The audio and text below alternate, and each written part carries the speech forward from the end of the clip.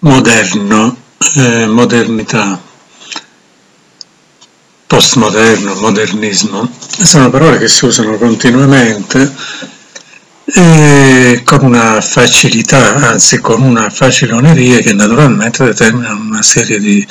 equivoci, di difficoltà in effetti di comprensione. In linea di massima, eh, quando si dice moderno, si pensa vagamente al mondo contemporaneo, non, non si chiarisce mai con assoluta precisione in realtà quando più o meno comincia, di che cosa si sta parlando. E, appunto anche le parole conseguenti tipo postmoderno, tarda modernità e modernismo diventano opache, vaghe approssimazioni. Naturalmente questo è normale, in fondo il linguaggio non è mai nella nostra eh, dire, umanità eh, un mezzo per chiudere definitivamente il senso delle cose. Ogni parola è sempre una approssimazione, un modello che semplifica ma che lascia evidentemente proprio nelle relazioni con le varie situazioni alla pragmatica, insomma alla contingenza, la continua sfrangiatura del significato che si vorrebbe avere. La definizione di un termine, quello che per esempio esiste nei vocabolari, è effettivamente un tentativo di mettere dei limiti a questa eh, contingenza eh, del divenire, ma appunto basta aprire un dizionario di qualunque lingua e probabilmente troveremo che per ogni termine ci sono 5, 6, 10, 20 lemmi diversi a dire che quella parola in realtà non ha un significato, ma ne ha tanti e stiamo parlando ovviamente di quello che tecnicamente si chiama denotato. Il connotato ovviamente poi è, significa eh, grosso modo la apertura a tutti i significati possibili in rapporto alle connessioni possibili che si possono immaginare. Fatto questa eh, breve premessa, come dire, metodologica, torniamo alla parola moderno. Um, nella tradizione di quelli della mia età, eh, la parola in genere veniva incontrata, in particolare studiando nei licei, quando si arrivava al quarto anno e si trovava, ci si trovava tra le mani con un libro di storia che era allora eh, in genere intitolato Storia eh, dell'età moderna o vagamente età moderna e in genere i limiti temporali erano grosso modo dal 1500 alla fine dell'Ottocento. Era questa in linea di massima l'idea di moderno che veniva proposta. L'unica specifica specializzazione però era esattamente questa qua. Se ne parlava proprio come un fatto di storia. Tutto il resto vagava. Naturalmente in contemporanea si studiava, che so, storia dell'arte, storia della letteratura, ma eh, con una più che, come dire, lasca corrispondenza in cui non ci si preoccupava in fondo di mettere in connessione quell'aggettivo relativo alla storia con le altre eh, discipline. Oggi naturalmente la questione è molto più determinante, sappiamo che eh, come dire, dire le parole, denominare gli oggetti, le persone, i fenomeni, significa in qualche modo governarle e il potere, insomma, è in qualche modo tipicamente umano di creare la realtà è proprio attraverso le parole. Quindi non è più un fatto, come dire, di dizionario, di pura nomenclatura eh, da gioco, come dire, di enigmi puramente giocosi, ma è davvero la possibilità poi di orientare le cose e quindi le persone. Quindi il tentativo di dire oggi che cos'è il moderno, evidentemente è un'ambizione, non è un gioco, come dire, strettamente accademico. E per intenderci, la prima cosa che necessariamente adesso opera nella ambizione di eh, entrare in questo problema è precisare che occorre un metodo E appunto il metodo è quello filologico, che a sua volta, parlando di parole, non può che avere ormai l'ambizione di essere soprattutto etimologia. Etimologia è storia, naturalmente, e dire che le parole non nascono e basta, non sono, come dire, non germinano da nulla, ma sono sempre eh, portatrici di una serie di elementi che, come dire, creano in noi anche maggiore o minore consapevolezza. Appunto la filologia è frutto, possiamo dirlo fin da adesso, è, anzi è causa e frutto della modernità. Comunque, l'etimologia significa che ogni parola ha una base storica e non solo. Oggi con la linguistica contemporanea, per esempio quella di Lakoff, abbiamo delle certezze abbastanza, come dire, garantite, che la semantica in particolare è all'origine inevitabilmente nient'altro che una denominazione dello spazio e così vale anche per la sintattica e via di via di questo passo. Eh, questo, come dire, ci basti come punto di riferimento teorico e allora andiamo a guardare per esempio in particolare davvero questa parola. Moderno ovviamente è un aggettivo che poi può essere usato come sostantivo che è alla base di concetti come modernità. Moderno viene um, appunto dal eh, latino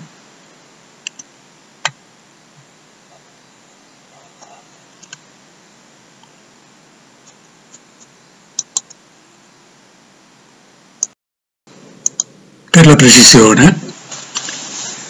all'origine c'è un aggettivo latino che è modernus ma è un latino tardo. Nella classicità questo aggettivo non esisteva. Nella classicità esiste sicuramente l'aggettivo modo che vuol dire ora, recentemente, quindi modernus, come dire, implica un riferimento a qualcosa che è recente di per sé. E questo sembra spiegare tutto, in linea di massima è questo che si trova sui dizionari, anche quelli etimologici. Ma all'origine di questo avverbio c'è in effetti un sostantivo e c'è anche un verbo. Il sostantivo latino classico è modus,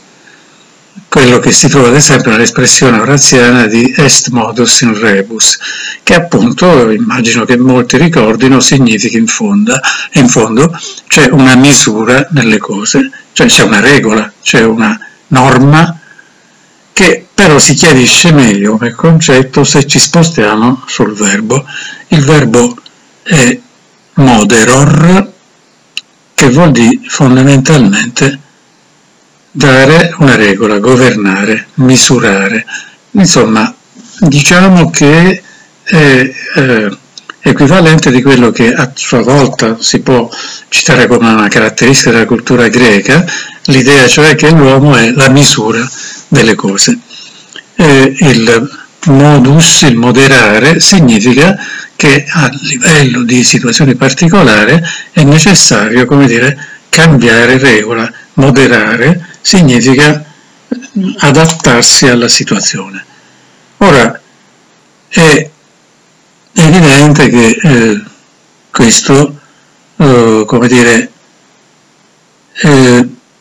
è un lavoro strettamente etimologico, ma vediamo perché a un certo punto, mm, verso la fine del 500, inizio del 600, comincia tra le altre cose a venire fuori una eh, polemica, come dire, culturale dell'epoca tra gli antichi e i moderni. E allora che questa parola comincia ad avere, come dire, effettivamente diffusione abbastanza ampia ed è in atto in sostanza uno scontro, dire, tra due visioni del mondo. In pratica una visione, diciamo pure, tradizionale, quella che ha a che fare con l'idea che il mondo è questo e si tratta solo, dire, di mantenerlo per quello che è, oppure eh, l'idea che il mondo è a disposizione dell'uomo. Allora, eh, dalla storia appunto noi sappiamo che dopo la scoperta dell'America e con la novità anche di Copernico si sta in realtà modificando proprio il modo di pensare al mondo. Fino a, queste, eh, questi eventi, non solo, l'idea chiave, chiave era che il mondo fosse un sistema fondamentalmente statico, chiuso, appunto, in una realtà che vede, come dire, un centro, la Terra, e anche eh, una specifica, ristretta eh,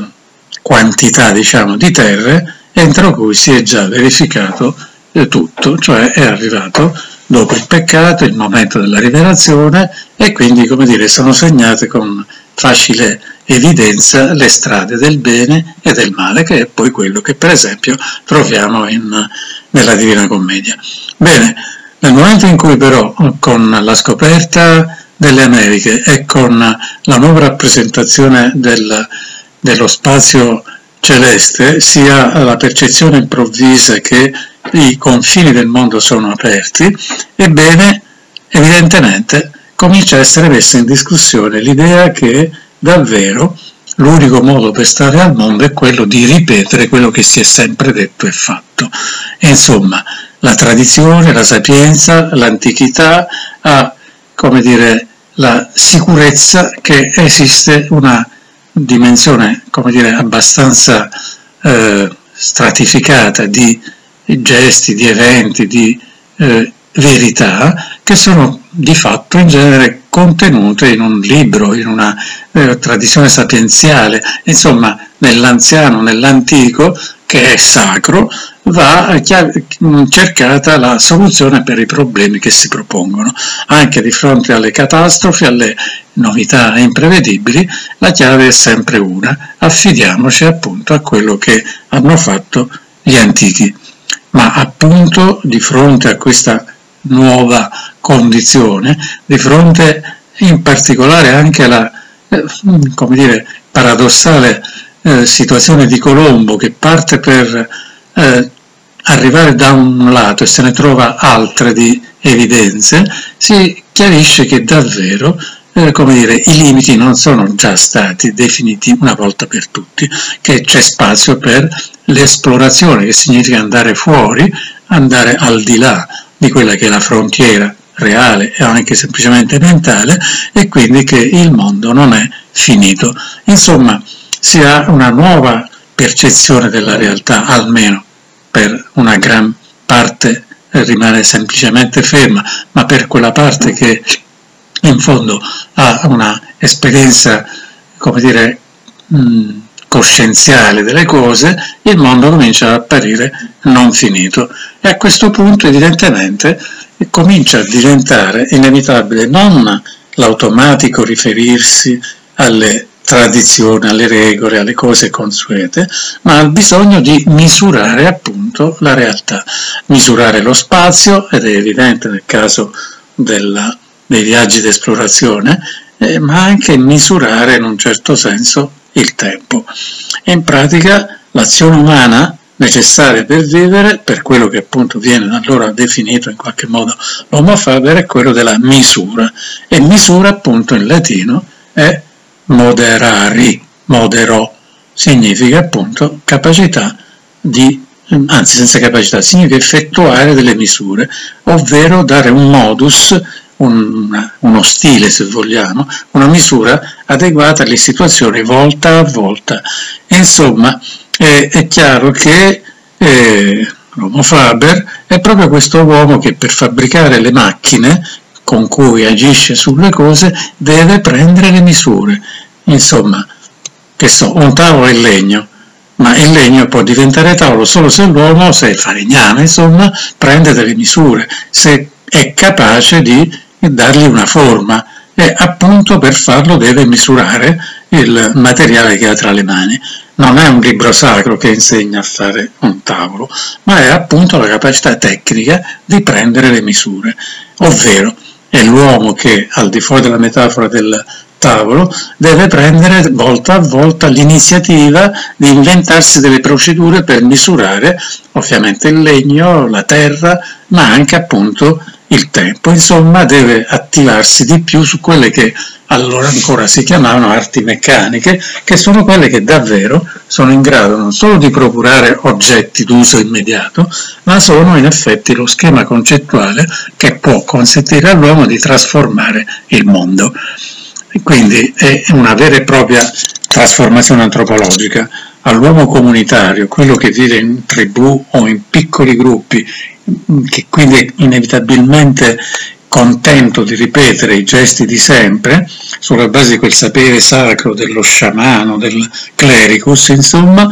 o dell'anziano, si accompagna, si comincia ad accompagnare l'antropologia del modernus, cioè dell'uomo che è capace di prendere iniziative nuove, modus, quindi comincia a significare nuovo, modo, nel senso di recente appunto, che si dedica alle res noves in fondo e vuole quindi sostituire alle pratiche tradizionali pratiche nuove, che ha insomma il coraggio di rischiare, di andare al di là del consueto e si assume quindi in prospettiva la possibilità di misurare il tempo, cioè di costruire il futuro. È qui che in qualche modo davvero si comincia a parlare di modernità nel senso che abbiamo probabilmente di più in testa noi. C'è l'idea del futuro. Se nella tradizione il tempo è ciclico e quindi è la ripetizione che crea inevitabilmente quiete, sicurezza, basta ripetere perché le cose funzionano più o meno sempre allo stesso modo, e invece l'idea del futuro che apre alla possibilità di innovare e con tutti i rischi e anche però l'entusiasmo che porta l'idea. Moderno, insomma, è chiaramente la capacità per l'uomo di dare un nuovo ordine al mondo, sostanzialmente finirà per essere la razionalità, la razionalizzazione,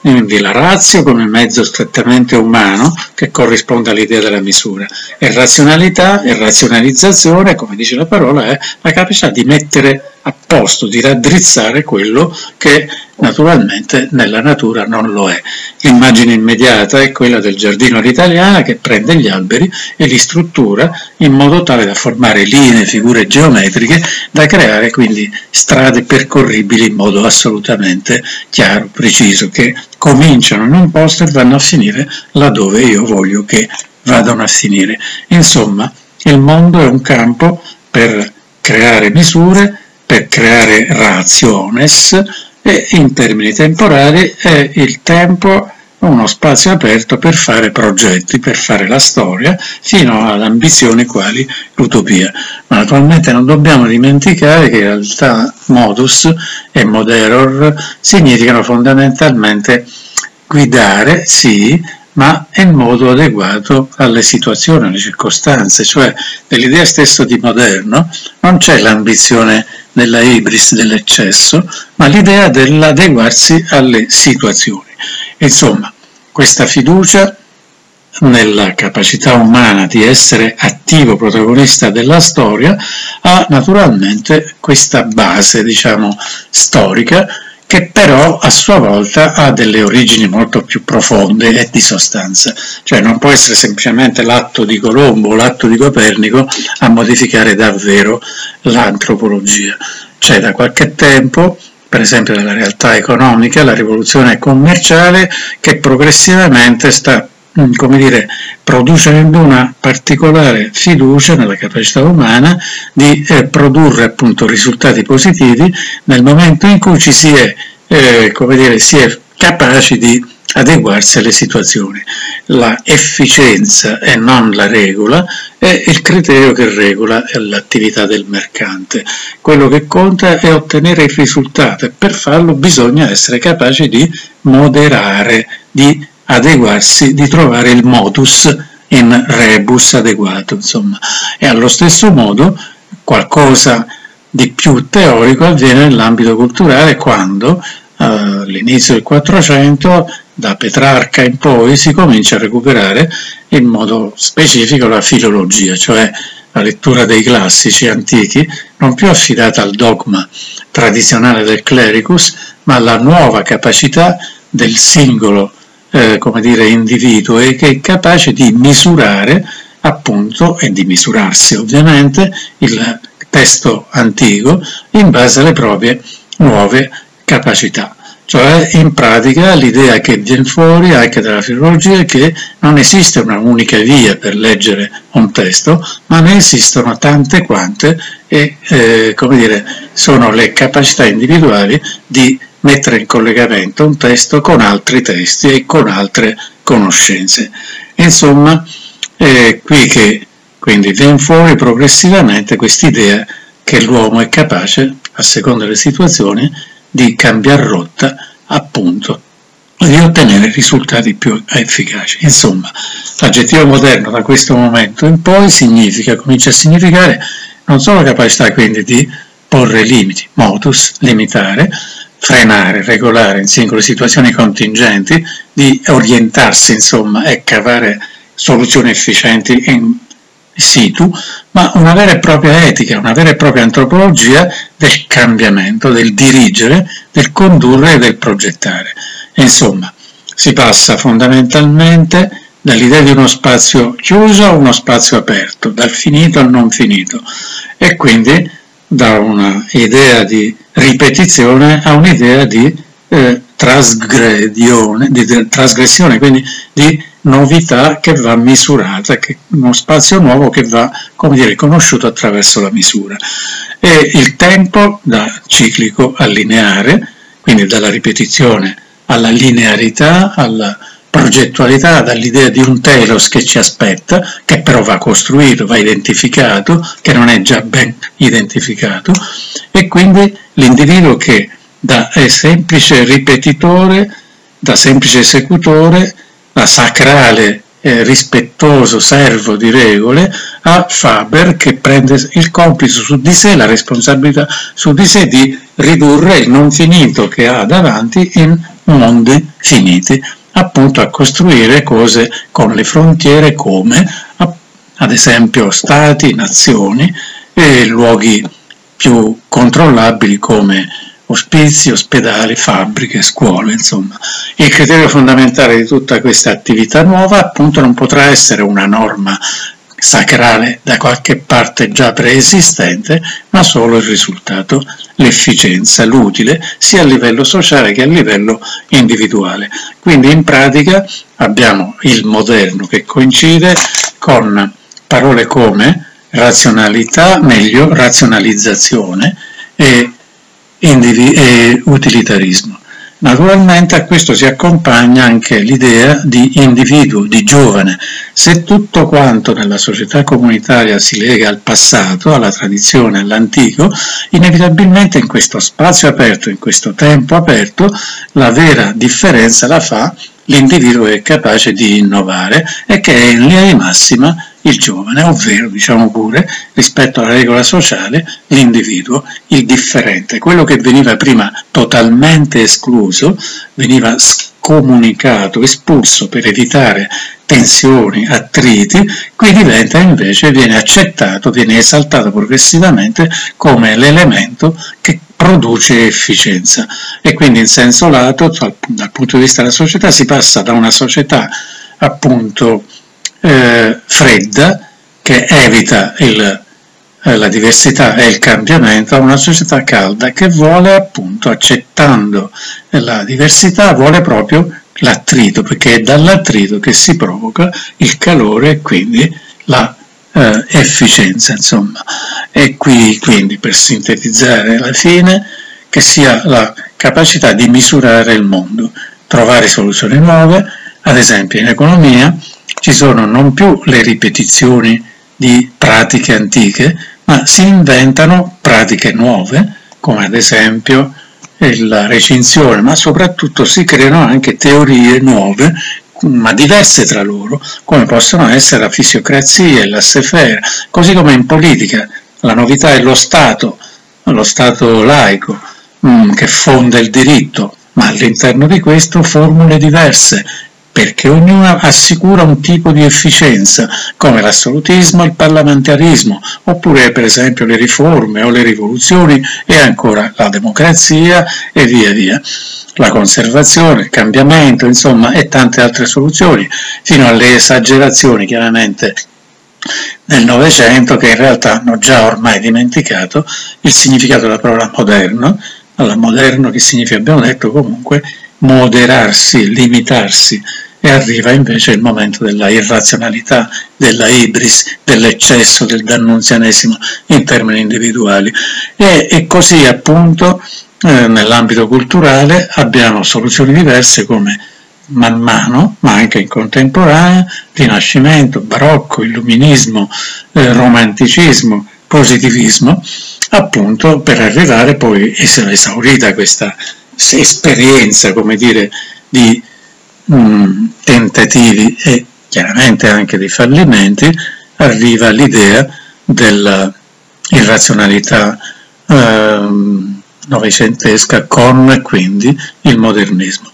e appunto il kitsch. E in ambito strettamente individuale modelli come appunto l'Homo Faber che portano appunto anche alla combinazione continua dell'uomo che si adegua alle regole sociali e, e dell'uomo economicus, eh, dell'uomo come dire, libertino che va ricercando assolutamente l'affermazione della propria differenza e anche in termini sociali, quindi il modello di una società inclusiva o esclusiva, una società ferma o mobile, di una società che coopta o distingue e riconosce il merito, è egualitarista, gius, giu, una società giusta, una società di differenza, insomma, in pratica il moderno è una sorta di sperimentazione che l'uomo attribuisce a se stesso sulla natura e sul tempo. E quindi appunto inevitabilmente abbiamo una molteplicità che va di volta in volta ad accompagnare l'aggettivo moderno.